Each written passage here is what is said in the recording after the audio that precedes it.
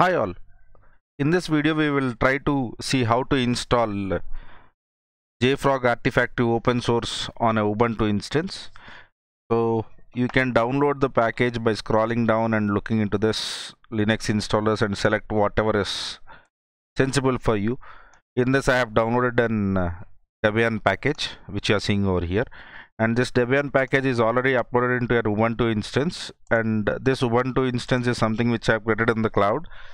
And this machine's size is T2 medium.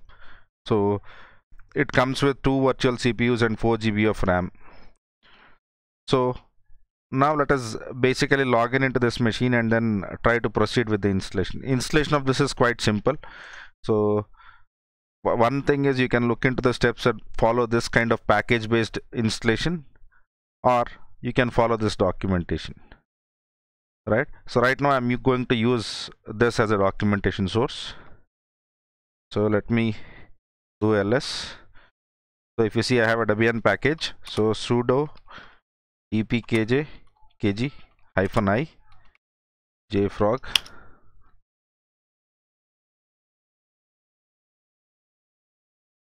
let us wait for this installation to be finished.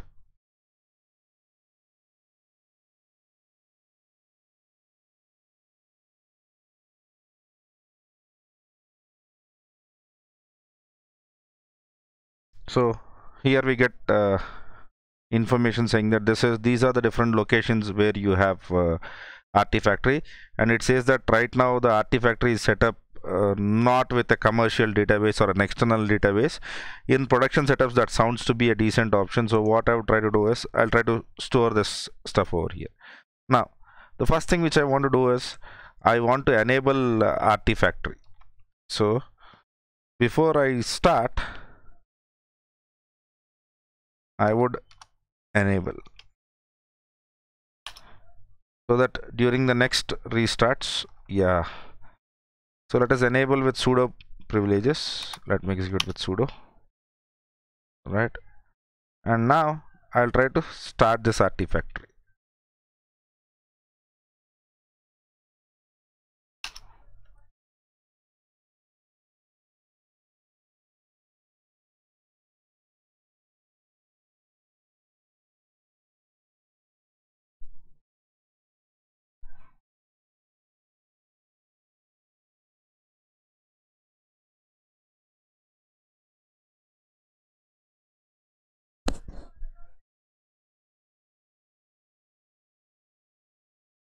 so artifactory is started or not? Let us try to verify the status of artifactory.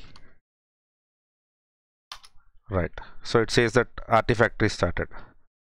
Now let me go to the public IP address of this artifactory server. And by default artifactory runs on 8081 port and the default username will be admin and password.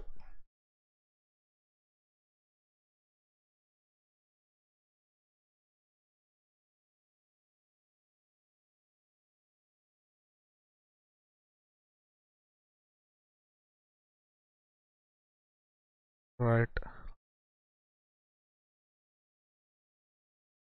Okay. Now let me basically go with get started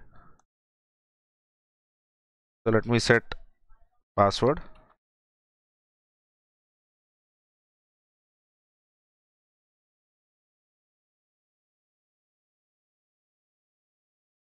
Right.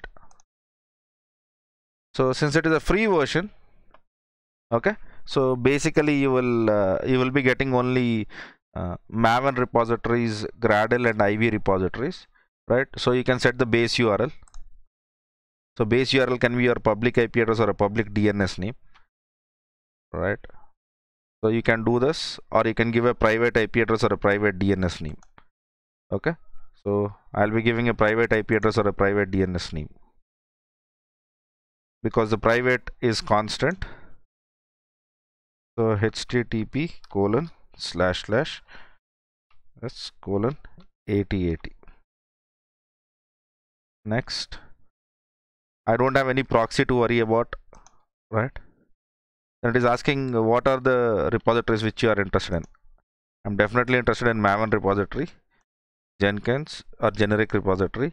If you want, you can select the other stuff also, but at this moment, I am not interested. It is trying to tell that it will be creating the following repositories for us. I am more than happy with it. That's it. So this is how you create uh, the Artifactory on a Ubuntu instance.